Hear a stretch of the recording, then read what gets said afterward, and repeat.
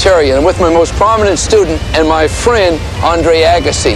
And what we've done in this tape is put together all of the things we know. Oh, yeah, we don't know it all, but what we do know, we put into a video that you're really going to enjoy, and you're going to view it all the time. Yeah, it's great music, outrageous visuals, with also some good knowledge. We're going to get you to play better and more inspiring tennis. And we're going to attack. Attack.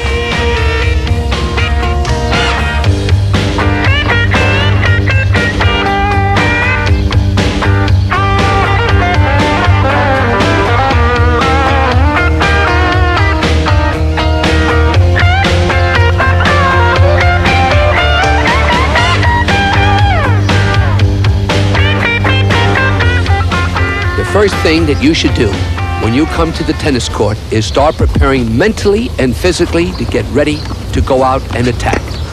All right, how do we attack? We're going to warm up inside the service line, and that's called mini tennis. It's going to make you utilize that racket head more than ever before. The racket is going to get underneath the ball with a brushing effect, and this will give the ball a little lift and a little spin to bring it back inside that service line. So this is the time you start moving back and you go back towards the baseline. Once he gets this message, he's ready to start going for it. The stage is set to attack the ball. Please notice that Andre comes after the ball. He doesn't wait for the ball. You know, that's the trick. To feel you're coming after it. Use this mini practice drill every time you go out on the court. This will force you to hit the ball up on the rise. And soon, you're going to form that muscle memory. You'll start applying that philosophy no matter what position you are on the court. Now, if some of you have trouble finding a practice partner, or even more so, even a court time. It'd be great if you can just find a wall or something to hit against, because what you can work on out here is not only concentration, but you can work on racket head, acceleration, and even work on your footwork a little bit, which, which couldn't hurt, like this. Don't get discouraged when you try this. People who think this is easy really haven't tried it themselves. Look how quick I have to get in position, hit the ball. It's not easy, especially the concentration factor. And if you can do 50 balls in a row like this, when you get on the tennis court, you can probably do twice that much.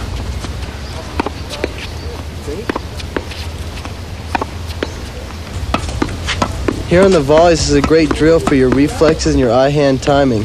It'll help develop your uh, ability to, to quickly get prepared, and it'll help you when you get in a tight situation at net.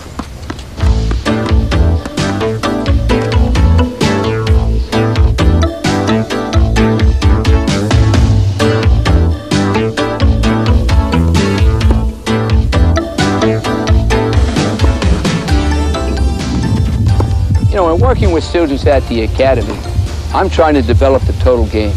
I want you to play an attacking game. But as part of the total game, I also want a weapon, and that's what Andre Agassi has. He has a big forehand weapon. Why does he have a weapon? Number one, his dad said, Andre, hit that ball. I don't care where it goes. Hit the heck at it. What makes his forehand so big? And how can his forehand help you? First of all, his position on the court is one that's very close to the baseline, and he's trying to hit the ball up on the rise. Two, Andre uses a semi-western grip. He utilizes semi-western with the hand slightly behind the racket. Everything he does, his whole attitude is coming after the ball and attacking that ball. The swings are numerous. You can have a straight back, a semicircular loop, or the total loop. Andre uses the full circular swing. The benefit of this looping style backswing is its continuous motion.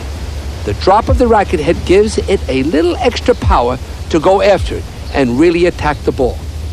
Next, I want you to notice the shoulder and hip rotation.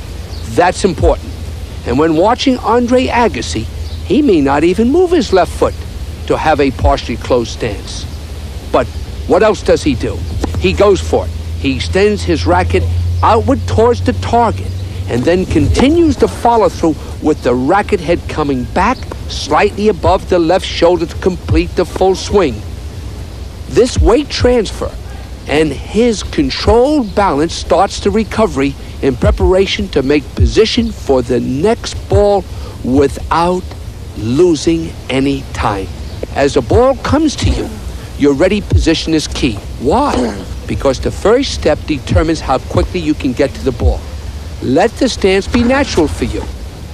Next, the racket head acceleration. Look at the racket head speed up. And this does not mean snapping your wrist. It means the racket head getting to the ball, going through the ball with lots of confidence. Speeding up on contact is the key. Hips and shoulders again are turned. The contact point, for the most part, should be out in front of you. But if the ball gets behind you, don't panic.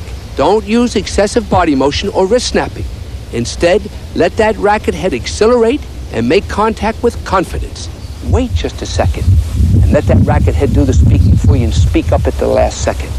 The last thing I want to bring up is watching the ball. I think you should watch the ball from the time it leaves your racket, not watching the ball just when it leaves your opponent's racket. By doing this, you then can anticipate where the ball is going and what type of shot will be hit.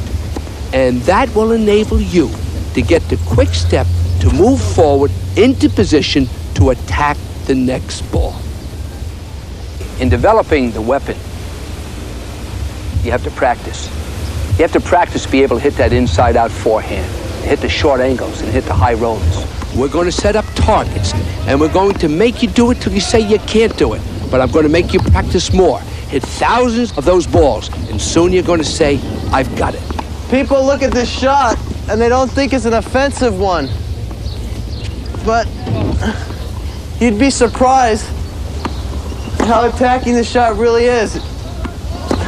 It pushes your opponent way behind the baseline, which sets up a number of, of options you'll have after he returns a short.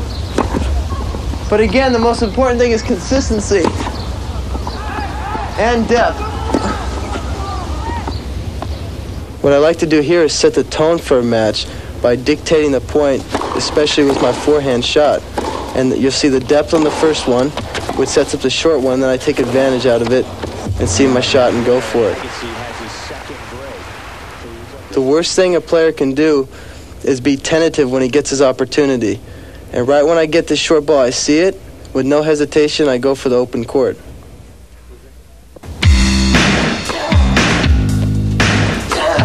If this video gets any of you to play Don't Miss It,